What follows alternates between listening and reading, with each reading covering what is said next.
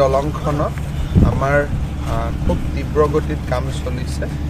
আৰু আমি সকলো আশাবাদী যে ছাব্বিছ চনৰ এপ্ৰিল অৰ্থাৎ বহাগ বিহুৰ দিনাখন আমি এই ব্ৰিজখন মাজুলীবাসী ৰাইজৰ কাৰণে মুকলি কৰি দিব পাৰিম। এনেকুৱা এটা ধাৰণা আমি লৈ ৰাখিছোঁ। অৱশ্যে পানীৰ ওপৰত নিৰ্ভৰ কৰে কাৰণ বিয়াল্লিছটা পষ্ট পানী ব্ৰহ্মপুত্ৰৰ মাজত হ'ব। টোটেল দলংখনৰ এক্সট্ৰা ড'জ পৰ্চন বুলি কয়।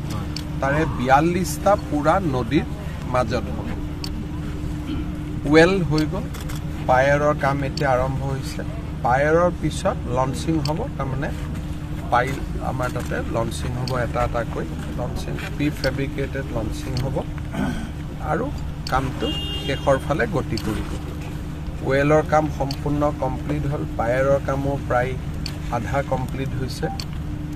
নাও চলাবৰ কাৰণে আমি দুটা পোষ্ট কৰা নাই ব্ৰহ্মপুত্ৰৰ মাজত নহ'লে নাৱৰ চলাচল বন্ধ হৈ যাব। তাক বাদ দি এতিয়া খুব ভাল স্পীডত আছে। ছেকেণ্ড মাইলষ্টনলৈকে আমি এচিভ কৰিছোঁ। থাৰ্ড ফ'ৰ্থ মাইলষ্টনৰ কাম আৰম্ভ হৈছে। গতিকে মই অত্যন্ত আশাবাদী যে আমি দুই হাজাৰ ছাব্বিছ চনৰ এপ্ৰিল মাহত এই কাম সমাপন কৰিব পাৰি। যদি আৰু ভগৱানে দীঘলীয়া বানপানী কৰি দিয়ে তেতিয়াতো কাৰো হাতত নাথাকে। কিন্তু যিটো সাধাৰণ বানপানী আমি অসমত বুজোঁ তিনি চাৰি মাহৰ বানপানী সেইটো সেইটো থাকি গ'লে আমি ইয়াক কমপ্লিট কৰিম ছাৰ মাজুলীৰ ৰাইজ যথেষ্ট সুখী। দলং দুইখনৰ কাম কাজত লৈ আৰু লগতে আপুনি মুখাৰ ভাগত ফেৰী চলোৱাৰ ব্যৱস্থাও কৰিছে তাৰ সমান্তৰালকৈ চাওক মাজুলীত এতিয়া ৰাতি ফেৰী চলি আছে। এইটো প্ৰথমবাৰৰ বাবে মাজুলীত সম্ভৱ হৈছে। মাজুলীত নতুনকৈ আফলাটিং আৰু নিমাতী অফলাটিং আৰু অফলামুখ। অফলামুখ আৰু কমলাবৰী নিমাতী। পৰ্চনত আমি দুটা জাহাজৰ টাৰ্মিনেলো বনাইছোঁ। কাৰণ আমি বিশ্বাস কৰোঁ যে দলং হৈ যোৱাৰ পিছতো পৰ্যটকসকলে ব্ৰহ্মপুত্ৰৰ মাজেদি অহাটো পচন্দ কৰিব। সেইকাৰণে আমাৰ অফলামুখ আৰু নিমাতী দুটা ডাঙৰ টাৰ্মিনেলৰ কাম ইতিমধ্যে আৰম্ভ হৈছে। গুৱাহাটীৰ পৰাই মই আধাৰশিলা কৰিছিলোঁ। ৰাতিও জাহাজ চলিছে। আৰু দলং দুখনো ছাব্বিছত সমাপ্ত হ'ব। তাৰ লগে লগে মাজুলী আমি হেৰিটেজ ব্লক কৰিব গৈ আছোঁ যাতে মাজুলীৰ স্থানীয় ৰাইজৰ পৰা মাটি বাৰী ওলাই নাযায়। গতিকে মইতো ভাবোঁ চাৰিওফালে এটা খুব ভাল পৰিৱেশ নিৰ্মাণ হ'ব গৈ আছে। দলংখনত আমাৰ খুব তীব্ৰ গতিত কাম চলিছে।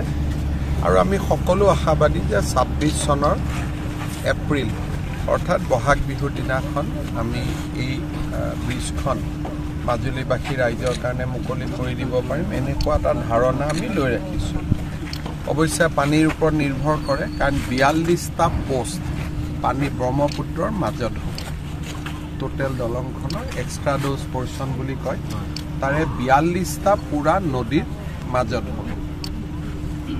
ৱেল হৈ গ'ল পায়াৰৰ কাম এতিয়া আৰম্ভ হৈছে।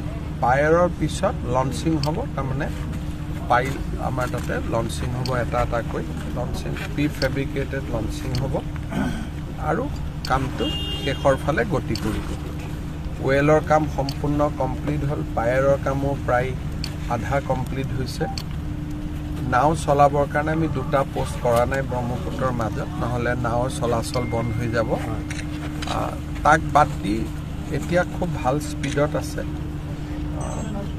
ছেকেণ্ড মাইলষ্টনলৈকে আমি এচিভ কৰিছোঁ। থাৰ্ড ফ'ৰ্থ মাইলষ্টনৰ কাম আৰম্ভ হৈছে। গতিকে মই অত্যন্ত আশাবাদী যে আমি দুই হাজাৰ ছাব্বিছ চনৰ এপ্ৰিল মাহত এই কাম সমাপন কৰিব পাৰি। যদি আৰু ভগৱানে দীঘলীয়া বানপানী কৰি দিয়ে তেতিয়াতো কাৰো হাতত নাথাকে। কিন্তু যিটো সাধাৰণ বানপানী আমি অসমত বুজোঁ তিনি চাৰি মাহৰ বানপানী সেইটো সেইটো থাকি গ'লে আমি ইয়াক কমপ্লিট কৰিম ছাৰ মাজুলীৰ ৰাইজ যথেষ্ট সুখী। দলং দুইখনৰ কাম কাজত লৈ আৰু লগতে আপুনি মুখাৰ ভাগত ফেৰী চলোৱাৰ ব্যৱস্থাও কৰিছে তাৰ সমান্তৰালকৈ চাওক মাজুলীত এতিয়া ৰাতি ফেৰী চলি আছে। এইটো প্ৰথমবাৰৰ বাবে মাজুলীত সম্ভৱ হৈছে। মাজুলীত নতুনকৈ আফলাটিং আৰু নিমাতী অফলাটিং আৰু অফলামুখ। অফলামুখ। আৰু কমলাবৰী নিমাতী পৰ্চনত আমি দুটা জাহাজৰ টাৰ্মিনেলো বনাইছোঁ। কাৰণ আমি বিশ্বাস কৰোঁ যে দলং হৈ যোৱাৰ পিছতো পৰ্যটকসকলে ব্ৰহ্মপুত্ৰৰ মাজেদি অহাটো পচন্দ কৰিব। সেইকাৰণে আমাৰ অফলামুখ আৰু নিমাতী দুটা ডাঙৰ টাৰ্মিনেলৰ কাম ইতিমধ্যে আৰম্ভ হৈছে। গুৱাহাটীৰ পৰাই মই আধাৰশিলা কৰিছিলোঁ। ৰাতিও জাহাজ চলিছে। আৰু দলং দুখনো ছাব্বিছত সমাপ্ত হ'ব।